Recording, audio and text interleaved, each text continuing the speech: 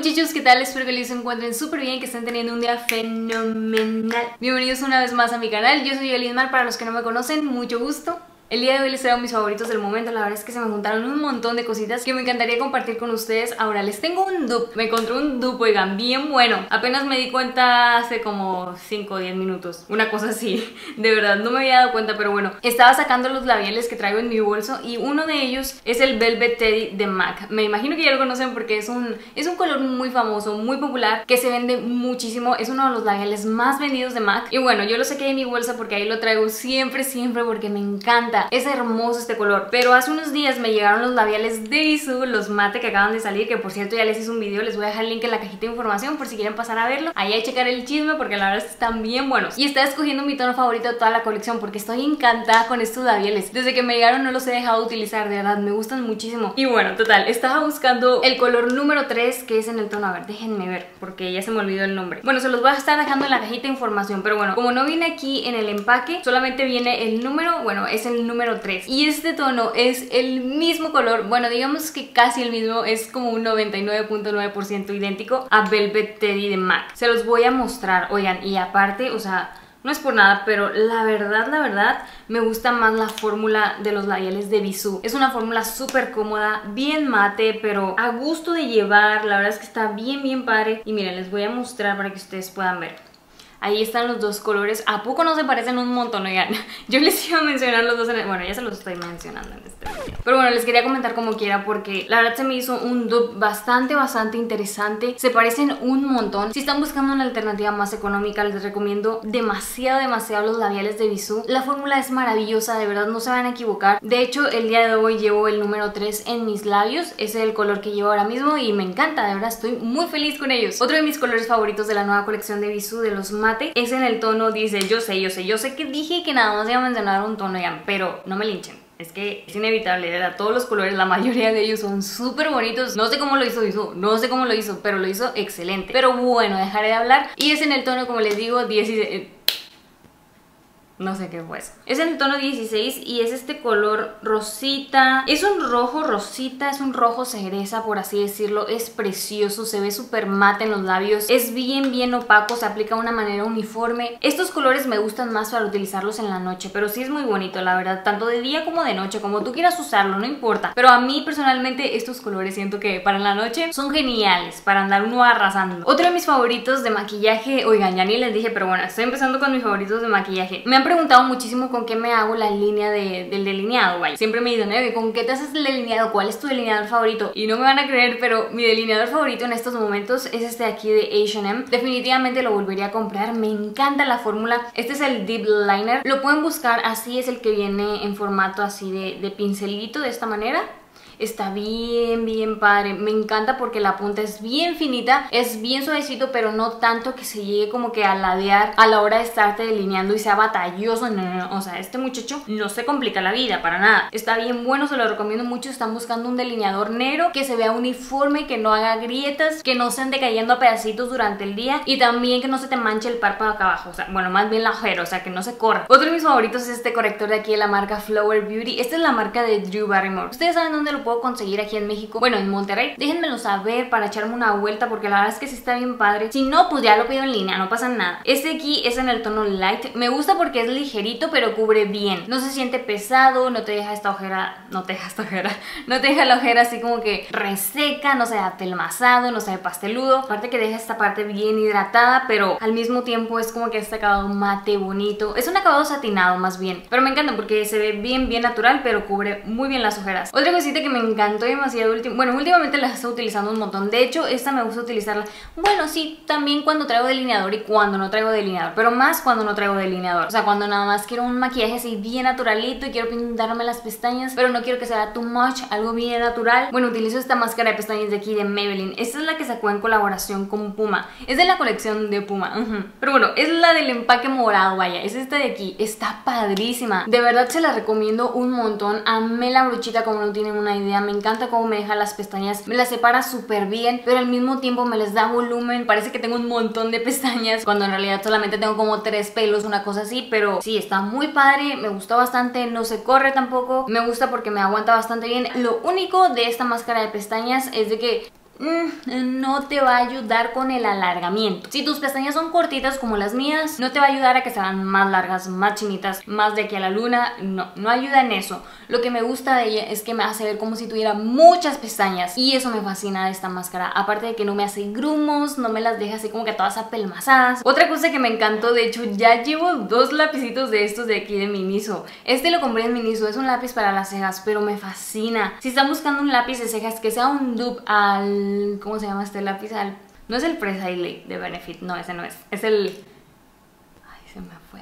Ok, ya no me acuerdo ah, ya, es el Coof Proof de Benefit. Benefit tiene un lápiz que es muy parecido a este, es la misma puntita y me gusta más la fórmula de este. No sé por qué, pero prefiero más esta fórmula. Ya llevo dos de estos, lo malo es que se terminan muy rápido y la verdad es que no me dura tanto. Sí me dura más, o sea, más tiempo de vida el de Benefit, pero por el precio seguiré comprando este porque está muy bueno y me gusta más la fórmula, como les digo. Otro de mis favoritos de maquillaje es este iluminador de aquí de MAC. Este es el Beaming Blush. Beaming Blush este es el Beaming Blush, algo así. Pero bueno, es un iluminador, es el que llevo el día de hoy en mi rostro. No sé si puedan ver el brillito. Bueno, el destello que se ve ahí es este iluminador de aquí de MAC.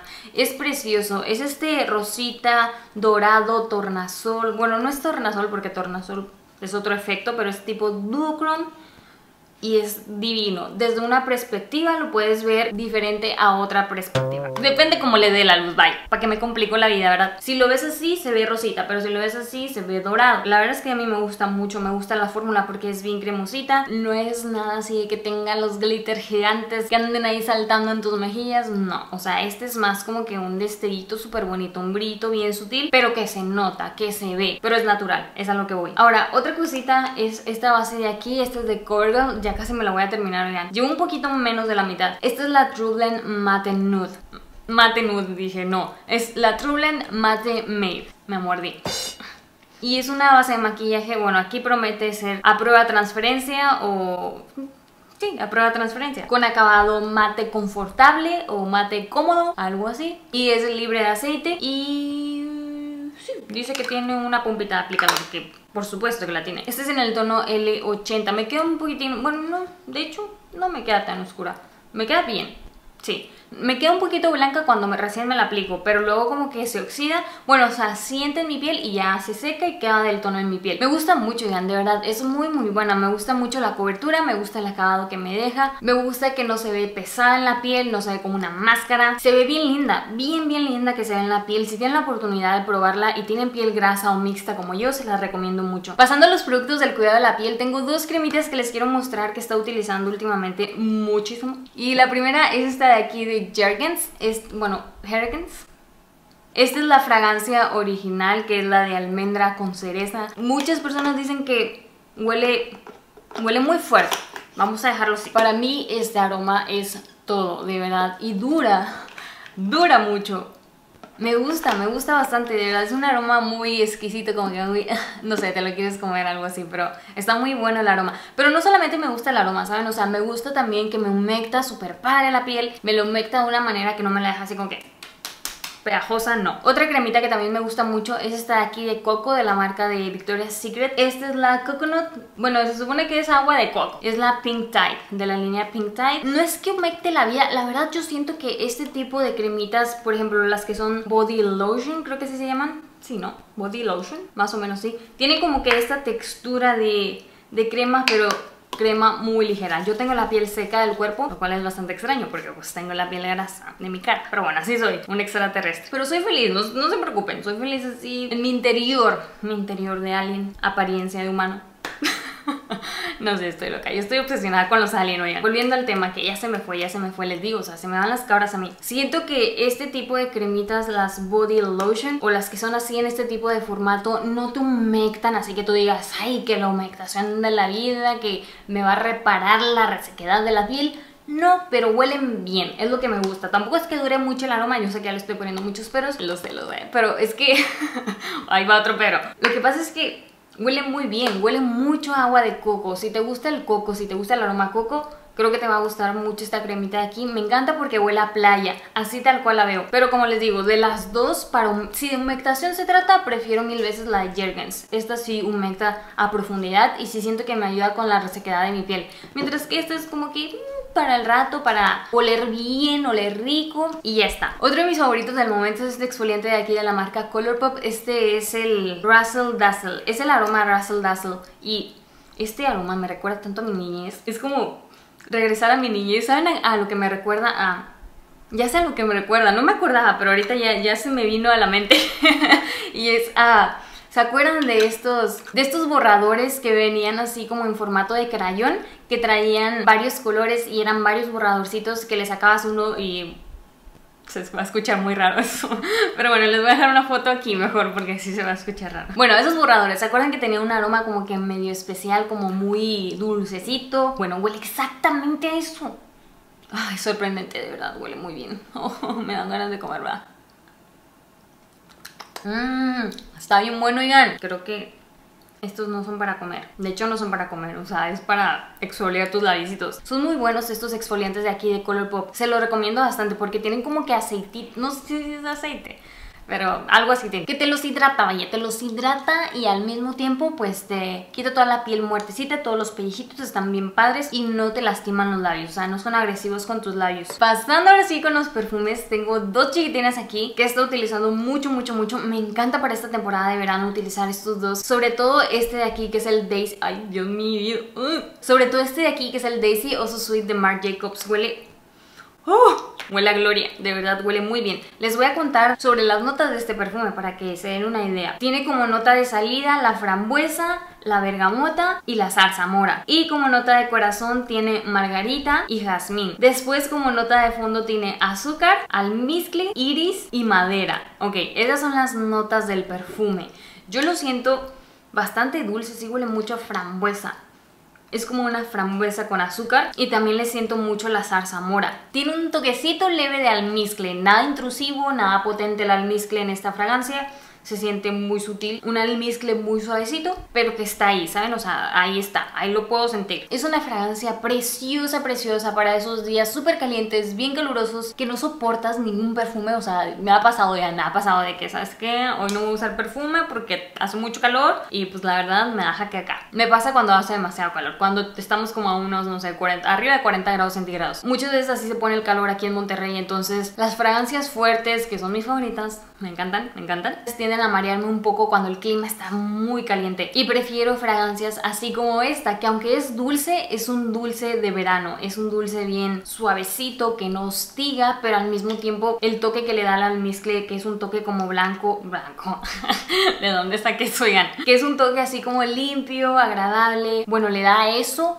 que hace que no me deja quecar. Otro que también me gusta mucho y este es un poquito más fuerte, siento yo, al menos es más fuerte en mí, en mi piel se desarrolla de una manera bastante potente y aparte tiene buena estela y buena duración y es este de aquí de Sara. Normalmente los perfumes de Sara no tienden a durar mucho algunos de ellos, pero así como hay perfumes que pueden pero así como hay perfumes pero así como hay perfumes pero así como hay perfumes en Sara que no tienen buena duración, duración, duración pero así como hay perfumes en Sara que no tienen buena duración, también hay unos que tienen muy muy buena duración. O sea, encuentras unas joyas ahí, si los buscas, los encuentras. Esta es Sara Woman Rose Gold. Es flores blancas, más flores blancas, más flores blancas. Es un jardín de flores blancas.